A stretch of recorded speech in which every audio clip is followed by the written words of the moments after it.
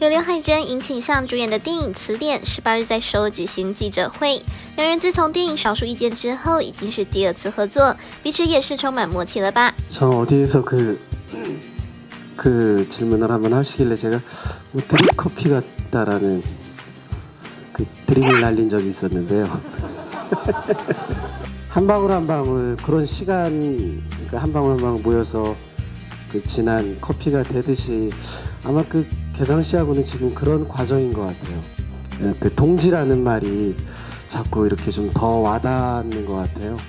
그 뜻을 같이 하는 이제 점점 그렇게 돼가고 있는 그 동지 개념이 생기는 듯합니다. 저한테는.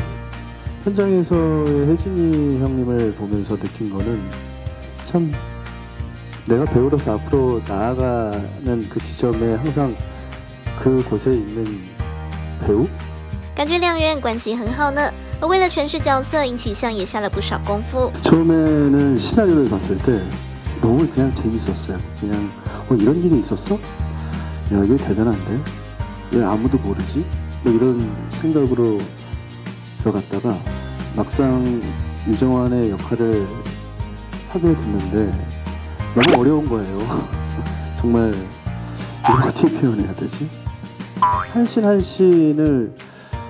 진짜 버거워하면서 찍었던 기억이 납니다. 期待电影上映喽！